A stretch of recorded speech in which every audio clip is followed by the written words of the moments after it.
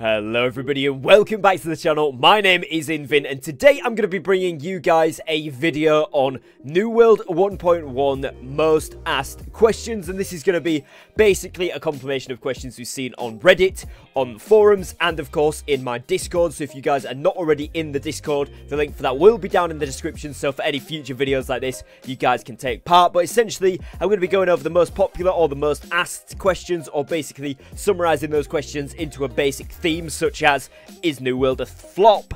And then we're going to be talking about that in today's video. Before we jump into this one, if you guys are not already subscribed, make sure you go down below and press that big red subscribe button with the notification bell on as I do upload every single day. So I would love to have you here as part of my channel community. And without further ado, we're going to jump into this one. So the first question here is going to be, will there be more new content soon? Which feels a little greedy, you know, we've just had the drop from 1.1 into the void, but what we can defer from that is in the patch notes, like I went over a couple of days ago for you guys, there was a couple of things in there that we could pick up on, particularly putting the new wells in some of the settlement centres, which to me indicates that they are going to be there because it said for a future event. Well, we know Christmas is just around the corner here, so my speculation on that one is that we're seeing a Christmas event in Aeternum where I think we're going to get a Christmas tree in the middle of the settlements and there's going to be some sort of thing, either gathering baubles, tinsel, presents, who knows what it's going to be. Maybe it's going to be gathering snowballs, there's going to be snowmen everywhere, who knows. But it does seem very, very exciting. So I'm pretty gassed about that. We should be seeing some cool in-game stuff there. It'd be nice if we can get some kind of UI and map updates to go along with this. Of course, there's other issues in the game, right? But this is kind of like the fun side of things that I'd like to see worked on, which would be really, really cool. So fingers crossed there's something cool around the corner there, but we will have to wait and see when that drops. Now, the next one I've been seeing a ton of comments on, left, right, and centre, all over Twitter, forums, Reddit, everything. Is New World a flop? Well, no, basically, in my opinion, it's not. There's tons and tons of massively, massively positive things about the game. People are getting very drawn up, and I think it's because a lot of us have got very heavily invested in the game. You know, we've played the betas, we've played the alphas, we've played all the test phases. We've then come onto the game, we've played the full release, we've even played the PTR and stuff. And then there's some features in the game which are still, you know, subpar, let's be honest about it. But Here's where I think we're going to see a massive increase. Obviously, if we get some Christmas events, that would be really cool. But on the stabilization side of things, again, every time we get an update, things seem to go a little bit shaky. So I would like to see these probably less frequently, but more stable in the future. You know, obviously, weekly content is nice, um, but obviously, sustainability is much, much better. So I would like to see that worked on.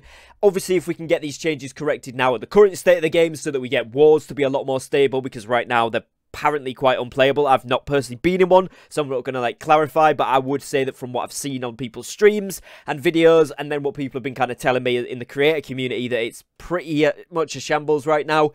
Let's see if we can get that fixed first. Let's fix the weapon balancing. You know, mages have been really just kicked in the teeth with this update. It was with good intentions. I believe it was to try and balance stuff out, but when they buffed the Warhammer and the Great Axe, I made the Bruiser build yesterday, which you guys can check out if you do want to. Amazing build, but right now it's probably the only build other than a Void Gauntlet build and Healer build that you can actually run viably, so... It's a little bit of a shame, so hopefully we see those brought back up, but it is something that they're fluidly monitoring. But what you've got to take into account is the positives here. So the game's been out just over a month and a half now. We've seen new content added. We've seen improvements every single week without fail. They've been putting stuff in, and even more often than that, they've been putting several things in per week to stabilize the game, to improve stuff. So that is really, really good. They have acted on community feedback 99% of the time. They've done some sneaky things. So when we got these shadow updates or forgotten patch notes, whatever you you want to call them. That was a pretty bad move, and I know, you know, potentially it wasn't intentional there. They've said they've come out and said it just wasn't included, but that should have been quality checked first. That was really important, and I think that's pissed a lot of people off. So that's where we're kind of seeing this big divide coming in right now, where people are like, well, actually, we wanted to see something which was cool here. This is, you know, annoying, but what we should say is that they've been communicating with the community a massive amount, whether it's on Twitter, whether it's on Reddit, whether it's on the forums. The forums, they're literally non-stop coordinating with people, responding to tickets, even responding to people who are quite frankly just being downright rude to the company. They're still putting responses on there trying to answer the questions, which I wouldn't have the time of day for, so fair play to them for that. And so we do have to give them props for that, and I think obviously going forward, if they continue to interact with the community, they continue to stabilise the game and get it to a really solid point, in a month or so's time, we could be having ourselves a really, really good game. Now, I know a lot of you guys are going to be like, well, that's not good enough for right now. And yet, it is annoying. I get it. But at the same time, we're working towards a common goal. They're working alongside us, and they are listening to our feedback. So I think that's a really, really positive thing that we do have to remember. A lot of MMOs and a lot of game companies in general don't care. So the fact that they are caring, the fact that they're taking, you know, our opinion as players into account and listening to community feedback, features we'd like added in, such as faster run on the roads, which we see now, it's much, much better, and I do appreciate that. So I don't think it's at all a flop, and I think we're only going to get better and better stuff going forward. More stability, more content, and more exciting features. So I would say stay tuned. Now, obviously, as well, you know, there's a few other things coming around the block that we've seen from data mining and stuff, which I'm not going to go over today, but even some other stuff which I'm sure we haven't seen any anything of yet, which is in the upcoming works. I'm excited to see. So for me personally, I'm really excited. I'm really enjoying the game, which is the main thing. And above all else, I'm having fun. I've made a great community of friends over on the server that I'm on as well. And that is by far the main thing in an MMO for me. So personally, I think it's a huge W of a game. Those that disagree, that's absolutely fine. But just try and think about it logically. Overall, my opinion, very, very good. The next thing we're going to talk about here then is the changes to the marketplace and actually what the best armor is. And for this one, I'm actually going to bring up a Reddit post for you guys because I've seen a really cool post on Reddit here which kind of details what each of the stat distributions are for the types of armor so that you can find them a little bit easier. So I'm going to go ahead and throw that one up on screen for you guys now. So if we look into this one here, the post is by Reality. You can see the user up here at the top. And this is with the trading post changes, I thought this could be of some use. This is really, really good in my opinion. This is very useful. And um, so what they've gone and done here is basically put a post on that says what the armor suffix is, so what the name of the armor is, so armor of the soldier, barbarian, fighter, monk, etc. They've gone down all of these lists. They've listed the primary stat and a secondary stat if there is one, and then obviously the ones that aren't are just solely strength, dexterity, int, etc. And this is really, really useful. So I'm going to go just kind of scroll down this as I'm speaking to you guys now, and I will leave this post linked in the description below because obviously it's going to make it a lot easier for some of you guys to you know, go ahead and find the armor that you actually want with the stats that you actually want on it. And of course, please do go and show some love to this post. Do go and give it an upvote, an award, whatever you want to do, whatever, however Reddit works. I'm still not 100% sure with it. Uh, but yeah, go over there, show them some support, leave a nice comment or whatever. And as you can see, 97% upvoted. So this is a pretty popular post and uh, with good reason because that is very, very useful. Um, so again, I'll leave that link down below for you guys so you can go and check it out if you do want to. But this is really, really cool. Another question that I've been seeing very, very regularly on Reddit and in the Discord is what is going on with the economy? Is it better now that we've seen, obviously, the mergers of all of the trading posts? So to quickly kind of expand on that point for those of you that haven't played much since the update, all of the trading posts in Aeternum are now linked. And the way that this works is you pay the tax from the territory which you set it up in. So evidently everyone is going to the lowest prices, which has meant that all the trading costs have basically gone down to minimum because otherwise nobody's making any money. And you go to the one which is the lowest cost and you pay the trading price they have in their settlement to put it up. And then it's the same wherever you buy it from, you pay their trading tax when you buy it as well. And the trading tax goes to them. So it kind of works out that every settlement does get something. You can buy it from wherever. And I do think that this gives some of the outer trading posts, the further out places which are less used, a little bit more viability for some income because when you're out there, if you do head up to say, let's say Mourningdale, because you're doing a skinning run or you're doing a harvesting run, there's quite a lot of good stuff up there in terms of those materials. So you might be heading up, you might think, oh, I really could do with this X amount of food. Go on there, buy it from there, and then you'll get a little bit more income than you might have done before. So overall, I do like that. But there is the question of, of course, what is the point in having it franchised initially then when each individual place and, you know, kind of working out where the best place to sell was, what you could sell in each area to make more money. But I think overall, on my server at least, I don't know most of the servers I've seen posted on Reddit, which, as we all know, if it's posted on Reddit and it's a positive thing, it must be pretty good because a lot of people on Reddit are quite angry. So uh, basically, it seems like it's fixed a lot of economies or it's at least normalized a lot of economies. Now, what I mean by that is that we've seen, you know, structured pricing where stuff has gone up from 0.001 for anything, which is ridiculous. And then we've seen some stabilized prices, not about 0.005, which is still not great, but it's it's a little bit more than the one there. And then we've seen a little bit a few of the other stuff. So like iron on my server's gone from around the 0.5 to 1.2 in some places, averaged out about 0.8 across the board. Same with like silver ore, and that's kind of works out more sensibly, I would say. It makes people be able to actually buy things, and you can reliably check the prices, and of course compare the prices across the entire thing, which I think is a good thing. It makes it simpler at the very released for any new players coming into the game and means you can access anything wherever you would need it, which I do think is nice, a QOL type feature. But what this will do going forward begs to see a question. I wonder personally with future content, you know, whether we're going to see those future areas when they are released. Are they going to be linked to the same trading system or are we going to see some core world and then outer world differentiations there? So maybe it's slightly different rules. It's uh, maybe it's a pvp only area maybe it's a pve only area or maybe it's exactly the same as here but it doesn't connect because the Aeternum bubble only covers those like set areas that we've got right now. Maybe it'll be something where the outposts fragment off from the rest of the map, the claimable map, and they join up with some of the new areas we get. Who knows? But that is something that I'm wondering. So we'll see as we go forward with updates, obviously, how that does actually work there. So something else that I've seen quite a lot of comments about right now, of course, is the end game content in New World and kind of the grind that we've currently got. Now, for me, I have to agree with this update. They've changed these elite zones to make them harder, um, they've repositioned a lot of stuff on the map to mean that you can't do certain jumps, which I honestly thought was quite cool that you could skip stuff if you knew how to skill jump it, if you knew where to jump up and stuff. They've patched that so they don't want people doing it, which is, you know, fair enough if that's how it's going to be, but, you know, there's a lot of stuff where they've, they've kind of patched it a lot, and also, obviously, as I said there, they've increased the difficulty of all the mobs on purpose to make these zones harder, so some of them have been bugged where they've got enormous HP pools and whatever.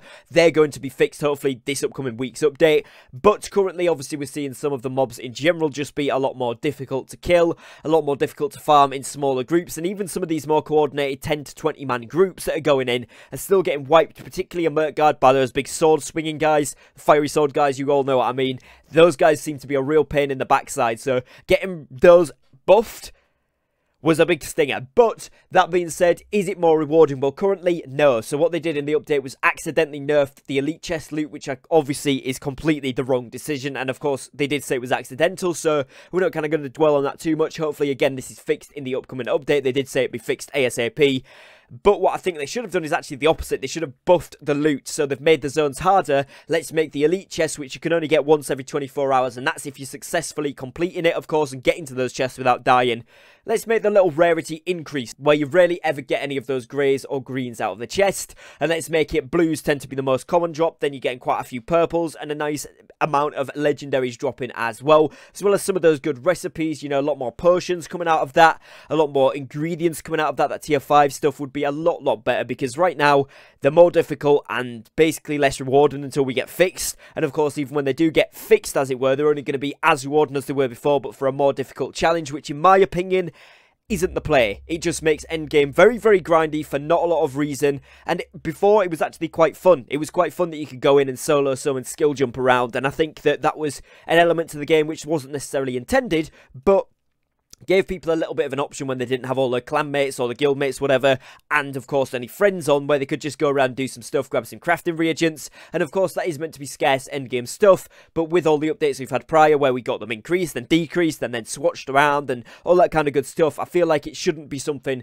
which is now a chore, and I feel like that is what we're seeing. We're seeing endgame become a lot more of a grind, which if that was there from the offset, I don't think people would be as upset about, but because it was easier and now it's getting harder, it doesn't really make sense and on top of that, it's getting harder without a gear score increase or without a level increase, which again is kind of fair enough, but what I don't want to see is the end game become a grind, and right now, that is what it feels like. What it was before was, you know, it was a little bit of a grind, but people were able to get through it nice and easy. Now it's a big slog to try and get through these areas, and to be honest, it's not something I'm too keen on, and I think a lot of the community are kind of fed up, because we want to see more content, we want to see these zones expanded, not made harder. That's not a challenging content, it's exactly doable, just the same as it was. It just takes a lot more time and effort to do exactly the same stuff, as I say, currently, for less rewards. Now, bear in mind, that is going to be be getting fixed, so it'll be currently doing more effort for the same rewards afterwards. But of course, what you've got to remember now is that PvP flagging increases your loot luck. So obviously, when you are in those areas and you PvP flagged,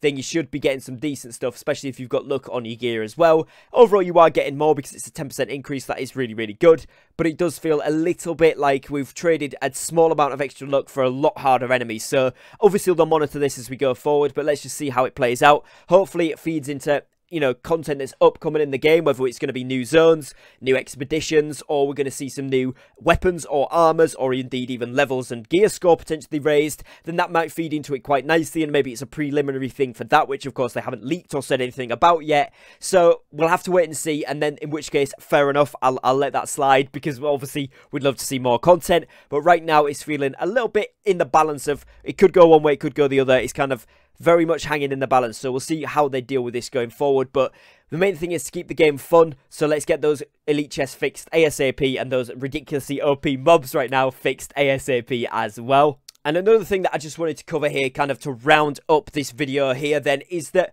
a lot of people have been saying, you know, a few negative things about the current update. I think what people have got to really take into account is that this doesn't mean the game is negative overall. It's just they're not happy with the recent changes. That's completely different to, you know, not enjoying the game, not liking the game overall, and not wanting to play it.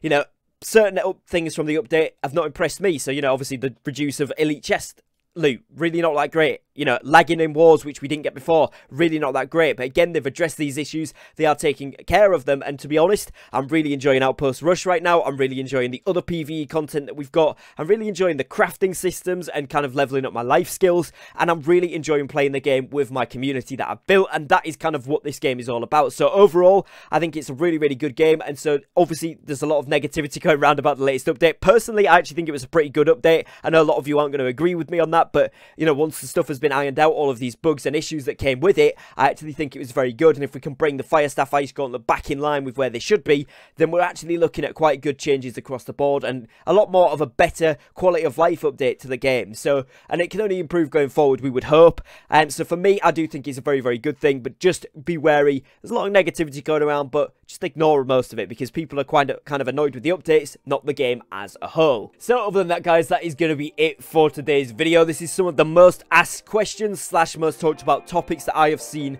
for New World 1.1 or New World Into the Void. If you guys have enjoyed this video, you'd maybe like to see another part where I cover some more questions, or indeed you've got questions you want to ask for a second part of this, then drop me a comment down below and leave a like on today's video so I know that you guys want more of this sort of content. If you would like to get involved in the discussion on my Discord server, the link for that will be in the description as well, so you can be involved behind the scenes, talking about these videos, talking about questions and things for the upcoming releases that I have here on the channel, then do join below there. If you are new here to the channel and you would like to see more New World content, then make sure you are dropping a subscribe down below as I do upload every single day, like I said at the start of today's video, and I would love to have you here as part of my channel community, so do make sure you're joining up there. Other than that, guys, as always, thank you very much for watching, appreciate your time, take care, and peace.